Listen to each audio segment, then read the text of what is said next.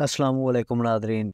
Nadreen, उम्मीद है कि आप खैरियत से होंगे। तो नादरीन, आज एक इम्पोर्टेंट वीडियो के साथ आपकी खिदमत में हाजिर हुए हैं। क्या नया पेंशन निज़ाम पुराने पेंशनर्स पर लागू होगा? और साल 2024 से पहले रिटायर्ड मुलाजमीन का क्या बनेगा? तरह के और बहुत से आपके सवालों का जवाब आपको आज की इस वीडियो में मिलेगा। तो नादरीन, आपसे रिक्वेस्ट है कि काइंडली वीडियो को लास्ट तक लाजमी देखिएगा।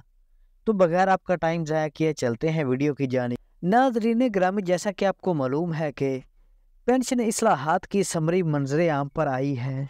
तो नाजरीन, ग्रामी आज की इस वीडियो में हम आपको बताएँगे कि जो नई पेंशन असलाहत नाफिज हुई हैं, उससे क्या पुराने मुलाजमीन को भी फ़र्क पड़ेगा? यानी कि वो पुराने मुलाजमीन या पुराने रिटायर्ड पेंशनर्स पर लागू होगी या नहीं? नाजरीन, जैसा कि आप स्क्रीन पर देख रहे हैं कि सिविल सर्वेंट एक्ट 1973 का एक्ट जो आपको नज़र आ रहा है तो नादरीन आज इस एक्ट के बारे में आपको आगाह करेंगे।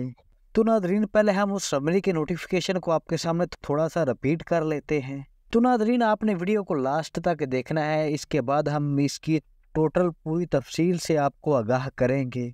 तो नादरीन इस अमेंडमेंट में था कि मल्टीपल पेंशन का खात्मा only one percent is entitled option available to the select high one and surrender all other और अगर कोई सरकारी मुलाजम पेंशन लेने के बाद री एम्प्लॉयड होता है तो है कि if re employed both benefits will not be authorise from federal government either pay or pension will be authorised during re employment individual has to forgo either pay or pension यानी कि अगर कोई employ दोबारा से job शुरू करता है तो उसे पे या पेंशन में दोनों में से एक चीज़ को सिलेक्ट करना होगा। और इसी तरह फैमिली पेंशन को सिर्फ़ 10 साल तक महदूद कर दिया गया था। यानी कि फैमिली पेंशन सिर्फ़ 10 साल तक दी जाएगी। फैमिली पेंशन की मद में शोदा की फैमिली को 20 साल तक फैमिली पेंशन मिलेगी और डिसेबल्ड सन और डिसेबल्ड डाटर को लाइफ टाइम मिलेगी। और इसी तरह अगर कोई मुलाजिम 60 साल से पहले रिटायरमेंट लेता है तो उसे तीन परसेंट से लेकर दस परसेंट तक पेनल्टी यानी कि जुर्माना लगेगा। इसके साथ अगर नीचे है तो नीचे था कि pension will be calculated on the average of last three years pay.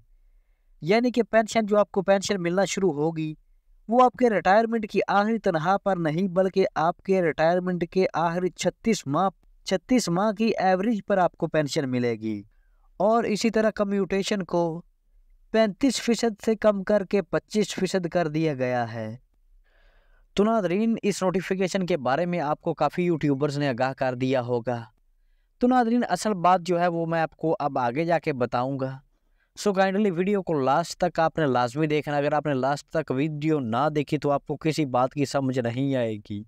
तो नादरीन सिविल सर्वेंट एक्ट 19, 1973 का एक्ट जो मैं आपके सामने पेश करने जा रहा हूँ तो नादरीन जैसा कि ये एक्ट है an act to regulate the appointment of person to and to return and conditions of service of person in the service of Pakistan chapter number two terms and conditions of service of civil servants terms and conditions number one the terms and conditions of service of a civil servant shall be as provided in this act and the rules Number two, pay the terms and conditions of service of any person to whom this act applies shall not be varied to his disadvantage.